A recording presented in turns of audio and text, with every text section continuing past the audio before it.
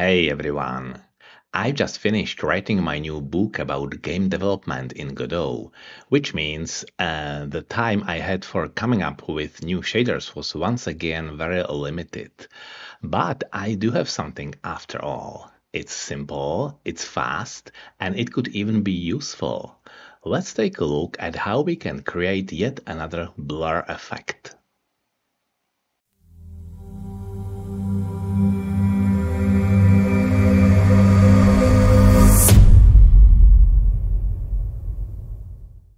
So just like almost every time, I'll create a new scene, drop in uh, the usual image from our game and apply a shader to it. Let's like right click to the scenes folder, create new scene, uh, user interface, call it circular blur, okay. And here is the image I always use. Let's drag it to the 2D editor. So the Sprite 2D uh, node was automatically created and in the inspector, I'll cancel the centered region and in the transform position, let's reset to 0, 0. Very well. and of course, we have to scroll down to the material section, create a new shader material, click it and create a new shader, which is of the type shader mode canvas item, and the name is circular blur.gd shader, and I'll put it to the shaders folder. Create and click again to open it in the shader editor, which I expand a little bit. And as before, we'll start by deleting what we don't need in this tutorial, so that only the fragment function remains. I'm deleting vertex and I'm deleting light. Very well. Okay, so how is this going to work? The principle of such a blur is to divide a circle into equal parts and shift each pixel in the corresponding directions created by slicing the circle into pieces. And since a single pixel shift isn't enough, we'll repeat this algorithm through a large number of iterations. So let's start by adding two uniform parameters. The first one, which we'll call blur power, will define the intensity of the resulting blur, and the second one will define the number of iterations. So uniform uh, float blur power with a hint range and the initial value 0, no blur, and let's make it from 1 to 10 with the step point 01. Okay, that's the first one. And now uniform float it uh, iterations, another hint range, and the initial value would be 50. Okay, and the hint range is from 1, as we don't want 0 iterations, and to, let's say, 100, and the step is this time 1, of course. Okay, and now let's move on to the fragment function. This time, we are not creating any symmetrical effect, and we don't even need to recalculate the aspect ratio, so the beginning of the code will be unusually straightforward. And let's simply write vec2 uv is uv. Cool.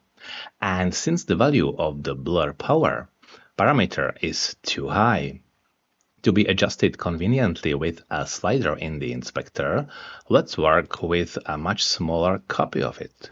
So float blur is blur power times 0.05. Okay, let's define a variable for the final color, into which we'll gradually add the results of individual iterations, and then the loop itself, where the calculations will take place. So vec3 color is vec3 and let's start at 0 black color and now the loop. For float i from 0 to iterations uh, iterations i plus plus and the body of the cycle. Okay and what do we put inside the loop? As i said we'll apply the blur effect in directions determined by dividing the circle, which corresponds to a vector made of the cosine and sine of the respective angle. Now, the angle of the whole circle is twice pi, or tau, which will multiply by this angle, so we can cover the entire circle. I'll call this vector circle, and it will look like this. Vec2 circle is vec2, and as I said, cosine of tau, the full circle, times i divided by iterations. And similarly, I think I can copy and paste to make it faster and change it to sine, right? And semicolon. Okay, next let's define a vector shift, which represents this pixel offset. And for now, we'll just assign it the value of the circle vector, so we can see what happens when the shift is always by a constant distance. Uh, vec2 shift is circle times blur. Alright, and finally, we'll get the pixel color and add it to the color variable. We shift the coordinates by the shift vector and take only the RGB components from the result, because uh, since the color is uh, vector 3, so that would be this line. Color is increased by the function texture applied on the on our texture, our background image, and the coordinates UV increased by the shift vector and RGB, of course, because function texture returns uh, vector 4, including the alpha channel. And of course, uh, we are performing plenty of additions. Iterations are set to 50 by default, so the result needs to be normalized. Otherwise, it would be overly bright, almost white everywhere. Normalization is done by dividing uh, by the number of iterations. So outside the cycle, color is divided by the number of iterations. Very well. And now we can assign the final value of the color vector to the internal variable color in capital letters is vector 4, uh, our color, which is vector 3, and the final component 1 for the alpha value, alpha channel, I mean. Okay, at this point, we don't see anything uh, we don't see any change because the blur power is set to zero. But when we increase it in the inspector, we'll start to see the artifacts I was talking about. So let's expand the shader parameters in the inspector and the blur power increase. Can you see it? Yeah. Maybe something like this could be useful for a certain type of effect, but we definitely won't settle for that. Before continuing, let's take a look at how the final image is actually formed. So uh, let's set this to 1, for example, and when I change iterations to 1, um, we see the original image shifted to the left by blur power. If I increase, we can see the shift. Yeah, let's get back to one. This makes sense because in the loop, we uh, the variable e, variable i, I mean, will only have the value of zero. So uh, cosine of zero is one and sine of zero is zero, meaning a horizontal shift. So let's increase the iterations to two. And now we get two copies next to each other, each at half brightness changing to 3, we have it in 3 directions, or 4, 4 directions, and so on. So let's return to the default value 50. That's how those circles or rather ellipses, are formed.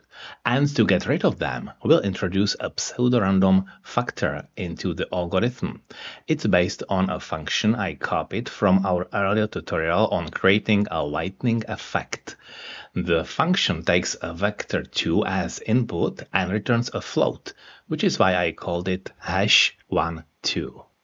So let's scroll up and put it above the fragment function, just pasting. Here it is. Uh, so now we can add a new variable noise inside the loop, which uh, will store the value of this function and will increase it by the blur variable to make it uh, to make the blur even blurrier. So scrolling that and after the definition of the circle vector, let's do this float noise is our hash function one two and it takes vector 2 as the input parameter sorry vector 2 and the arguments would be i and uvx plus uvy and as i said we will add the blur constant to make it even blurrier. Okay the values on the vector uh, uh, for the hash 1 2 function, that is this i and uvx plus uvy simply mean that in each iteration and for each pixel we get a different pseudo-random result. We could just as well use a minus here or multiplication or any other operator. Alright, so the last step is to add the resulting fluctuation into the calculation of the shift vector right here. So let's multiply that by noise weight. Okay, I would say we've achieved a pretty solid result. Uh, we can try adjusting blur power and observe how the image becomes more blurred or sharper. So increasing, now it's totally blacked out and getting back. And this is the original image. Yeah, and we can also try to work with iterations. Now it's grainier, now it's finer. Okay, yeah, of course, uh, this can also be controlled via script, which lets us achieve interesting effects in our game, such as uh, total fade out or fade in the structure of the blurred image may not be as smooth as with the Gaussian blur, but the computation is much faster, so it's definitely a good and usable alternative solution. Thank you so much for watching and I hope I once again uh, added something useful to our shader collection. Of course, I'll also include this effect in the Godot shader pack, which has already grown quite a lot. And the number of shaders in it will soon reach 100, which is a milestone I have set for myself. And since in five days from releasing this video, I'll be launching both my game and my new book, the next video might be a bit in that spirit. Or maybe not, and instead I'll come up with a new shader. We'll see. Anyway, take care. Thank you once again for watching. I wish you the best of luck with your projects and I'll see you in the next video.